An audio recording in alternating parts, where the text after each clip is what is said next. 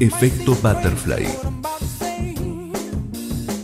Esta última gestión, ¿no? El crecimiento en la cantidad de escuelas a nivel nacional desde que desde los comienzos hasta ahora, ¿no? Con estas 25 que vos Así es, hemos tenido un crecimiento que como, como una escuela es una unidad muy grande, eh, bien podríamos decir exponencial, porque hace cinco años atrás teníamos siete u ocho escuelas que adherían a la APC y después hicimos un trabajo de unificación de programas eh, de educación integral, con, hoy es creo, en la, creo que en el mundo los, estándares académicos de formación de un coach ontológico que hoy avala la asociación en la Argentina, creo que es de lo más relevante.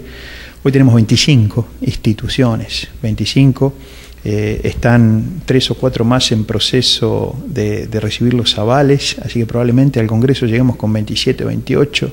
Se están entrenando cerca de 4.000 personas por año eh, hay cerca de mil personas que certifican como coaches. Esto habla de la demanda natural personal, pero también organizacional. Y hoy el coaching lo vemos presente en desarrollo personal, en desarrollo profesional, en equipos de trabajo, en mirada de gestión por procesos de los equipos, en empresarios, en políticos, en la educación. Lo vemos en distintos ámbitos. Es una profesión que llegó para quedarse y, y cambiar muchas de las cosas de la realidad actual. Efecto Butterfly.